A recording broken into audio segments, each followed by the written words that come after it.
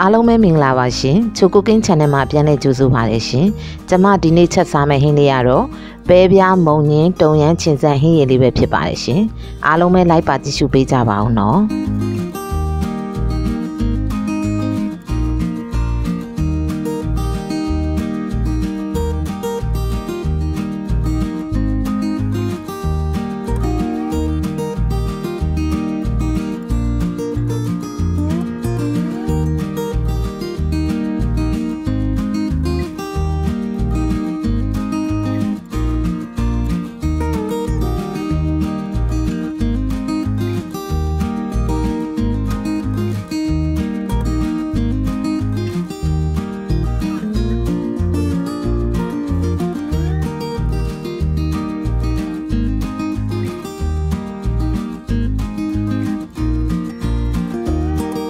ဟုတ်ကဲ့အရင်ဦးဆုံးရင်နွေးပွက်ပွက်ဆူအောင်တဲပါမယ်ရှင်ပြီးရင်တော့ကျမမာမီခောက်ဆွဲလေးတွေပေါ့နော်ပြုတ်ပါတယ်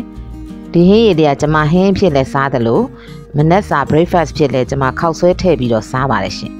ဒီနေ့ကတော့ကျမမနက်စာ breakfast ဖြစ်ခောက်ဆွဲလေးထည့်ပြီးစားမှဖြစ်တဲ့အတွက်ခောက်ဆွဲအရင်ပြုတ်ပါတယ်နော်မာမီခောက်ဆွဲကိုပြုတ်ပြီးတော့ကျမရေလေးနဲ့စီးချပါတယ်ရှင် ပြီးရင်တော့ခေါက်ဆွဲကိုကျွန်မစစ်ထားပါမယ်နော်ရေစစ်ထားပါမယ်ပြီးရင်တော့ကျွန်မတုံရမ်းဟင်းရေချက်ပါမယ်ရှင်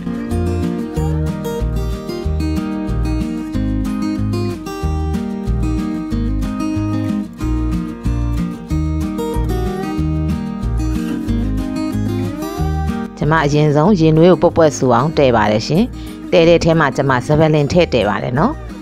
တုံရမ်းဟင်းရည်ချက်မယ်ဆိုရင်ဇပယ်လင်မပါမဖြစ်ပါနော်ဇပယ်လင်ပါပါတယ်ရှင်ပြီးရင်တော့ကျွန်မတုံရမ်းထည့်ပါတယ်ရှင်တုံရမ်းအတုံးလေးတွေပေါ့နော်စီတီမတ်မှာရှိပါတယ်ရှင်ဝယ်လို့ရပါတယ်တုံရမ်းအတုံးနှစ်တုံးထည့်ပါတယ်ရှင်ကျွန်မကတော့အချင်းကြိုက်တဲ့အတွက်နှစ်တုံးထည့်ပါတယ်နော်အချင်းမကြိုက်တဲ့လူကတော့တစ်တုံးလောက်ပဲထည့်ပါရှင်ပြီးရင်တော့ကျွန်မအဆက်အတွက်ငရုတ်သီးစိမ်းချမ်းထားတာလေးတွေထည့်ပါတယ်ရှင်ပြီးရင်တော့ပဲပြားထည့်ပါတယ်ရှင်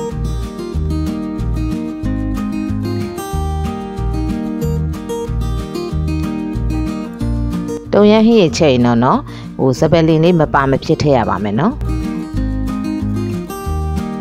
ပြီးရင်တော့ကျွန်မကြာမဆိုင်ထည့်ပါရရှင်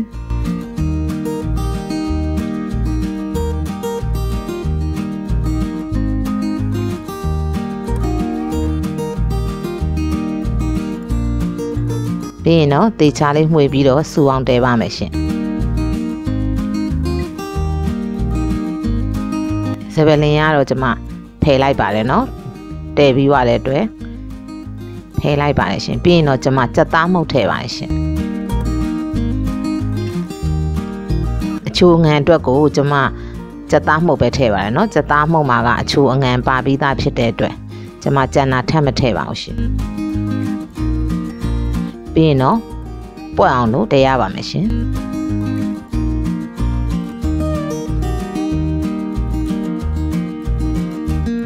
ဖုံးလေးအုပ်ပြီးတော့စူအောင်တဲရပါမယ်နော်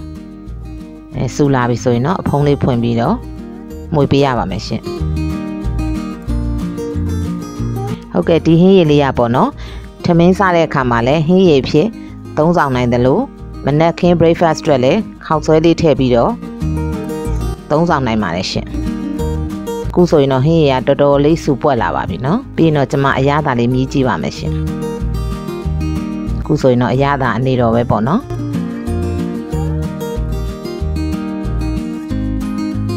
ခုဆိုရင်တော့ကျမဒီမနက်ခင်း breakfast အတွက်ပေါ့နော်ဒီဟင်းရည်လေးတွေကိုခောက်ဆွဲလေးထည့်စားပါတယ်ရှင်ခုဆိုရင်တော့အရသာကောင်းမွန်နဲ့မုံညင်းပဲပြားတုံရမ်းချင်ဆန်ဟင်းလေးရပါပြီရှင်ကျမရဲ့ဗီဒီယိုလေးတွေကိုကြိုက်နှစ်သက်တယ်ဆိုရင်တော့ like and subscribe လေးလုပ်ပြီးတော့အားပေးခဲ့ကြပါအောင်နော်